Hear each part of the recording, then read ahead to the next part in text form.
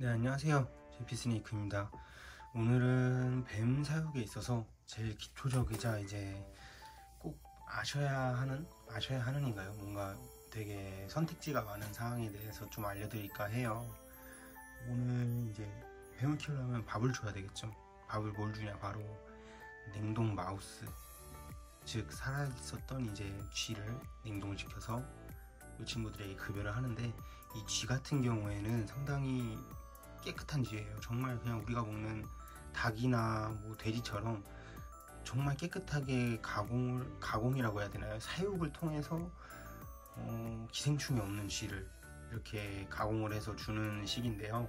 이 친구들 같은 경우에도 이제 냉동 상태다 보니까 어, 좀 주는 방식이 여러 가지가 있어요. 보통은 크게 두 가지로 나뉘죠. 라이브, 즉 살아있는 마우스나 렛을 주거나 아니면은 냉동돼 있는 렛이나 마우스를 이제 해동시켜서 주는 방식이 있는데 이 해동시키려면은 따뜻한 공간에서 장기간 냅두거나 아니면은 음, 따뜻한 물을 받아서 이제 물에다가 직접적으로 닿게 해서 해동을 시키거나 이렇게 두 가지 방법이 있는데요.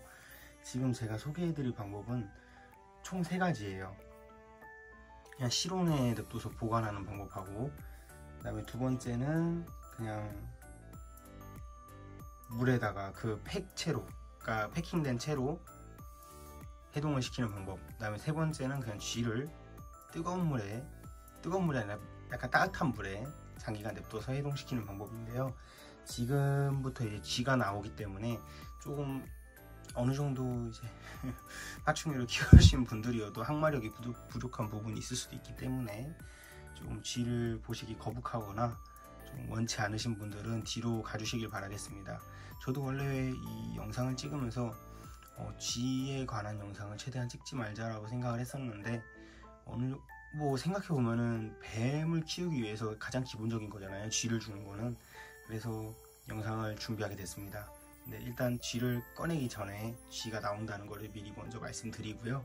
한번 쥐를 꺼내서 보여드릴게요. 제가 이제 이용하는 방식은 이렇게 키친타올을 깔고 핀셋과 가위를 통해서 애들 패킹을 제거한 후에 좀 이렇게 물기를 제거한 후 주는 방법인데요. 한번 보여드릴게요. 먼저 물에 다이렉트로 해동시킨 쥐인데요. 물이 뚝뚝 떨어집니다. 보시면은 그대로 그냥 물 안에 담궈놨던 쥐고요. 그 다음에 실온에서 해동을 시켰던 쥐를 한번 보여드리겠습니다 가위로 이렇게 잘라주고 핀셋을 통해서 꺼내줄, 꺼내줄 건데요. 이렇게 보시면 물기가 없죠? 그 다음에 이 패킹된 채로 물속에 넣어놨던 쥐를 한번 보여드리겠습니다. 여기는 이제 두 마리여가지고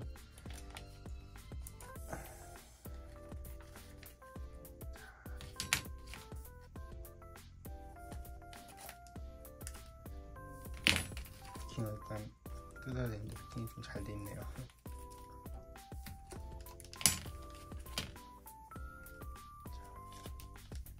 뜯어서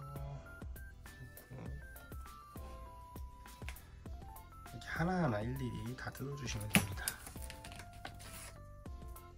뭐 이렇게 뱀을 사육하시는 분들도 쥐 냄새나 뭐 쥐를 직접적으로 손으로 만지는 거에 대한 거부감은 있으실 수가 있어요. 뱀이 이뻐서 키우기 때문에 쥐를 어쩔 수 없이 주시는 분들이 많은데 저도 그렇습니다.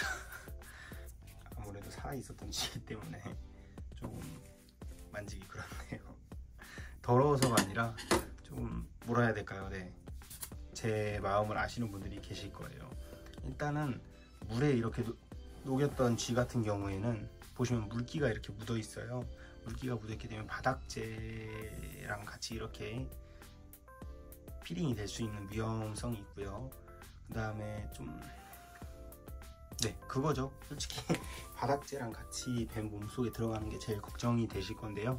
그때는 이제 키친타올로 꾹꾹 저는 어떤 방식으로 녹였던 간에 키친타올 한번 이렇게 꾹꾹 눌러서 줘요.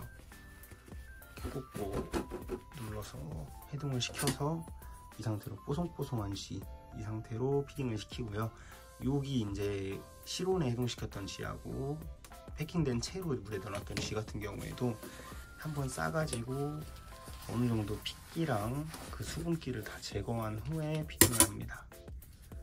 뭐 이 방법을 안 쓰시는 분들도 계시고 쓰시는 분들도 계실 텐데요. 저는 그렇게 줘요. 마우스를 이제 좀 살아있는 새로 주기 어렵다면 이렇게라도 공급을 해야죠. 한번 먹이 주는 것까지 찍어볼게요. 이 친구는 이제 pastel double het clown pied라고 하는 친구인데요. 조만간 짝을 또 찾아주고 가야 합니다. 뱀 밥을 주실 때는 그냥 간단해요. 이 친구 벌써 이제 밥 냄새 맡고 오죠. 그냥 대주시기만 하면은 냄새를 맡고 알아서 먹습니다. 네. 밥을 다 먹는 건 똑같은데요. 물에다 담가서 주시게 되면요. 이 친구 냄새라고 해야 되나요? 어느 정도 채취가 좀 빠질 수가 있죠. 그래서 저 같은 경우에는 패킹을 한 채로 실온에 한 3, 4시간 정도 두시면 애들이 어느 정도 약간 뭐라 해야 될까요? 좀 네, 어느 정도 녹거든요. 그 상태에서 물에다가 넣어주시게 되면은 애들이 먹기도 편하고 좀 냄새도 좋고 냄새도 이제 애들이 맡기엔 좋고요. 여러 가지 요점에서 좋은 것 같아요. 음, 먹이 주는 방법은 솔직히 뭐 이게 꼭 이래야 된다 그러는 거 없기 때문에 그냥 사육자분들 편하게 선택을 하셔서 주시면 될 것 같습니다. 뭔가 퇴근하고 와서 힘이 없는데 이 영상을 한번 찍고 싶었어요. 네. 유익한 정보였으면 유익한 정보 알아가셨으면 좋겠고요. 또 다음 영상에서도 사육에 있어서 좀 필요한 부분들 준비를 하려고 해요. 그 부분에 대해서 열심히 준비할 테니까 잘 시청해 주시고 궁금하신 점이나 이제 좀 요청 사항 같은 거 있으시면은 댓글로 댓글 달아주시면은 피드백 보고 보완하거나 뭐 그런